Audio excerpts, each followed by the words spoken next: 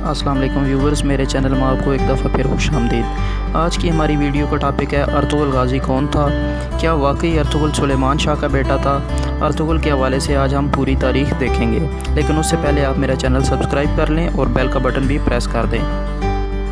अर्तुगल का तल्लक ओगोस तुर्क के कई कबीला से था।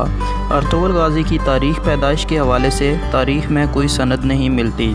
अर्तुगल गाज़ी के वालिद के नाम बारे दो मुख्तलिफ़ रवायात मिलती हैं। एक गैर मनकूल सिक्का, जो कि उस्मान के ज़माने का है, पर उस्मान गाज़ी का नाम उस्मान बिन अर्तुगल बिन गुंदोज़ अल्प दर्ज है। मगर रवायती तौर पर अर्तुगल को सुलेमान शाह का बेटा ही समझा जाता है। करमानी मोहम्मद पाशा की तारीख यानी चौदह सौ इक्यासी से कबल अर्तुगल के वालद के तौर पर गुंदोज को ही जाना जाता था। ताहम, इसके बाद से अर्तुगल को सुलेमान शाह का बेटा जाना जाता है। अर्तुगल की वालदा का नाम हाइमा था, जबकि इसकी बीवी हलीमा खातून बारे तारीख मुतनाज़ है।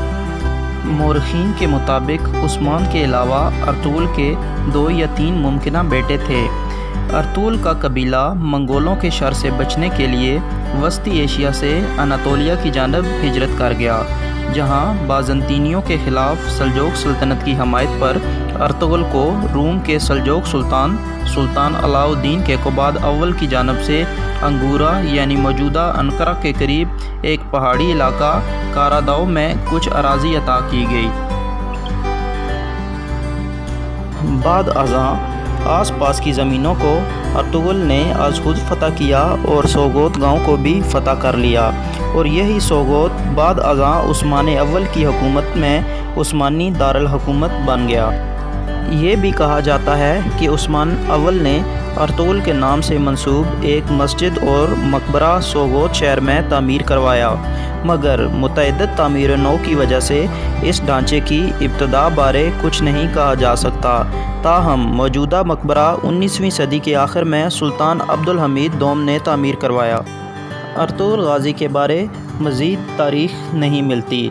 अर्तुगल गाज़ी ने सोगोत के मकाम पर ही साल 1280 में तबी मौत पाई और इसकी तदफीन सोगोत में ही हुई, जहाँ इसके मकबरा के बाहर इसकी आखिरी वसीयत इसके बेटे उस्मान गाज़ी को ये थी।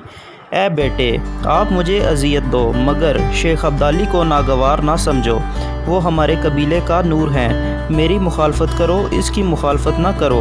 अगर आप मेरी मुखालफत करोगे तो मुझे तकलीफ़ होगी, लेकिन अगर आप उसकी मुखालफत करोगे तो मेरी आँखें आपकी तरफ़ ना देख पाएँगी। मेरे अल्फाज अब्दाली के लिए नहीं, आपके लिए हैं। गौर करें कि मैंने अपनी आखिरी मर्ज़ी से क्या कहा है। ये थी आज की वीडियो। मज़ीद वीडियो के लिए आप हमारा चैनल सब्सक्राइब करें और बेल का बटन प्रेस करें। वीडियो पर अपनी कीमती राय कमेंट की सूरत में दें और वीडियो को लाइक करें। शुक्रिया।